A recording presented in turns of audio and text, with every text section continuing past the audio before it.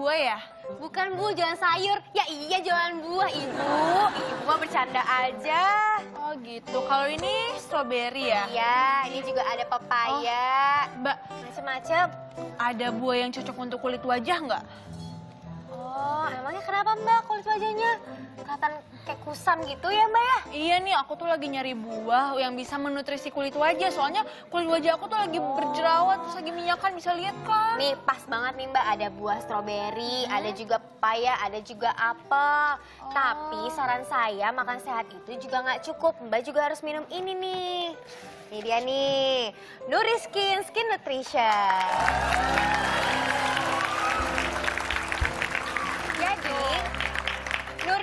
Nutrition ini cocok banget untuk jenis kulit kayak Mbak gini, normal atau enggak cenderung berminyak. Itu Mbak. Jadi selama minum Nuriskin ini jerawat sama komedo saya tuh juga nggak pernah ada Mbak. Lihat deh kulit saya tuh sekarang jadi lebih lembab, lebih sehat. Lihat deh ya kan? Oh gitu ya Kak Enzi. Mm-mm. Aku baru tahu ya ampun makasih banget ya Kak Enzi buat infonya. Akhirnya aku punya solusi untuk jerawat aku. Nanti yang ini aku coba minum ya. Ya nanti minumnya tuh harus rutin dan teratur ya karena Nuriskin Skin Nutrition ini tuh udah lebih dari 17 tahun dipercaya dan dipilih oleh wanita Indonesia untuk memelihara kesehatan kulitnya. Gitu. Oh gitu. Yeay akhirnya aku punya solusinya. Makasih Kak Enzi. Iya. Ini aku simpen ya. Boleh. Aku Mau mau, apa lagi? eh, apelnya lima, mau pepayanya satu, terus aku mau strawberry deh satu-satu boleh? Boleh, boleh. Semuanya sebentar ya. Mau ini stroberinya juga Mbak? Iya satu aja satu. Ini satu. Oke. Terus apa mau Sama pepaya pepaya juga? Satu lagi. Pokoknya ingat ya Mbak ya. Oke. Makan makanan sehat tuh nggak cukup. Oke, berapa mbak? Jadi semuanya 500 ribu aja. Bentar ya. Iya. Nih mbak, hitung dulu. Saya Cukup hitung nggak? dulu ya. Aduh, akhirnya. Oh, ini udah pas. Eh, mohon maaf Mbak, ini cuman ada 15 ribu, 16, 17, 19 ribu Mbak. Ya, Itu saya yang nombok, itu saya yang jual. uang di dompet saya cuma segitu doang. Udahlah mbak, utang aja, utang, utang. Nanti saya bayar ya. Utang aja, diskon, diskon. Ih, jangan hari gini nggak usah pelit-pelit. Nanti rezekinya nggak ini. Ya. Ampun Mbak, cakep-cakep doain yang ngutang. Yang cakep-cakep tuh harusnya lebih sabar, lebih baik, yang cantik gitu loh ngadepin pembelinya. Iya, iya, iya, iya. Wah, utang mulu. Akhirnya. Makasih ya mbak ya. Iya. Diskonannya, aduh. Banyak belanjaannya. Terus habis ini mau belanja apa lagi? Ngutang Eh, lagi sama yang lain? Ya enggak lah, aku mau liatin dulu sayuran dulu. Tahu lagi di jam segini mana sih tukang sayur sama tukang beras yang lain? Kok pada oh nggak iya, ada? kok nggak ada ya? Pada nggak rajin-rajin kayak Ini pada nggak takut sayurnya di, dicolong apa ya? Iya, coba aja Mbak sambil lihat-lihat dulu nanti kalau orangnya Oke datang oke nggak bentar ya dilayanin, mbak ya. Nah iya. Wow. Ini mana sih penjualnya?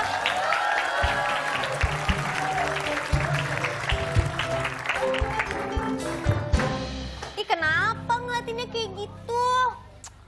Ah, susah. Susah kenapa Bang? Sekarang sayur tuh banyak yang jual. Lah emang banyak loh dari dulu yang jual sayur. Tapi jadi saya nggak laku-laku ini, saking kebanyakan. Nah, makanya saya nggak mau lagi ngambil-ngambil sayur. Lah terus sekarang mau ngapain Bang? Mau mejengkan aja di sini. Lah, abang jualan? Ya jualan lah, tuh lihat tuh. Sayur mayur. Oh ya udah saya mau beli. Yang mana? Yang ini brokoli aja, tapi ngutang ya. Mau beli ngutang. Ini saya nggak ada uang lagi, soalnya saya tuh dikasih belanjaan kan sama suami saya. Saya dikasih 50 ribu, habis. Makanya saya aja jadi suami kamu. Jangan Mbak, istrinya banyak Mbak, jangan Mbak. Gini aja deh. Gimana kalau saya ngutang sama Mbak? Hah? Ngutang? Ah, saya kasih aja nih brokolinya, tapi ntar saya bayar. Bingung kan? Apalagi saya. Itu buat Mbak promosi ya. Tolong kasih tahu teman-temannya upload Oke. ke Instagram kalau bisa Siap. Insta Story. Kalau soal promosi bilang saya aja gampang, Iya. saya promosi Nanti semuanya. di Insta Story-nya begini ngomongnya ya. Halo, saya mau review bisnis sahabat saya nih, gitu. Ya. Oh iya, nanti aku At brokoli.co.id gitu. Oke, nanti ya udah kalau gitu eh, aku harus pergi nih. Ya, aku lagi ditungguin pacar aku. Udah, makasih Oke, ya. iya, sama-sama. Mbak. Iya bayar ya utangnya ya.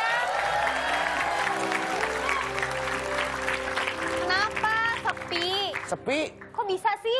Ya, nggak tahu deh nih. Memang mungkin karena sekarang eh, daya beli berkurang ya. Iya. Ya, tapi saya biar bagaimanapun saya tetap jualan lah. Ya Lihat. udahlah, semangat aja terus ya Bang Joko ya. Iya, ini sayur sayur saya ini Hah? sebetulnya ini udah mulai layu. Kenapa? Lihat, ini udah seminggu nggak ada laku-laku.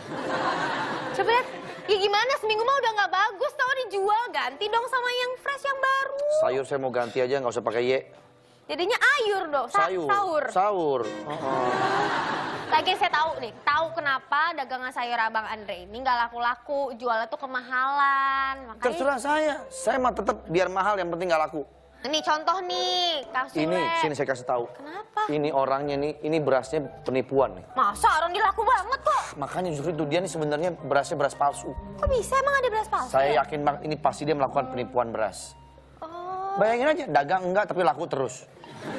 Gimana coba? iya ya, tapi emang dia laku paling laku loh di antara kita semua di sini.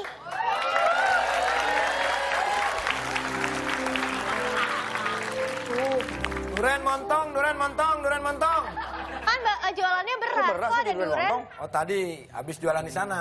Kan saya Oh. banyak. Beras di sini, di sana duren montong, duren montong, montong dibeli. Gitu.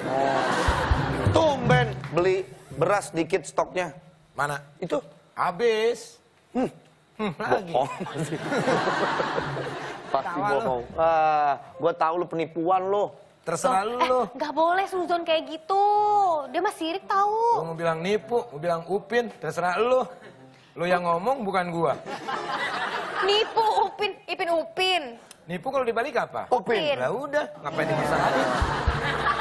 Tahu nggak puasa Ini sebetulnya dia bohong.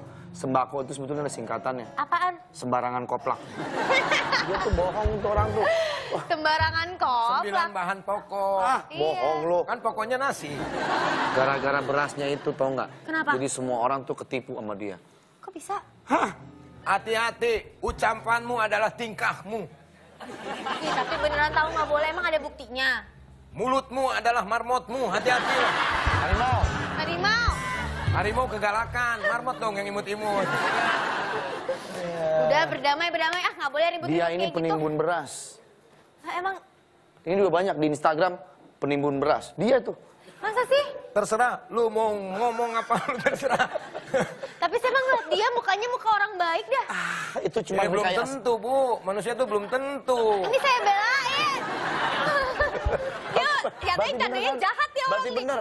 Enggak menilai manusia itu jangan dari luarnya saja. Belum tentu dia orang baik. Kan Karena kan- kejahatan itu bukan berarti ada niat dari si pelakunya, tapi ada kesempatan. Kan itu.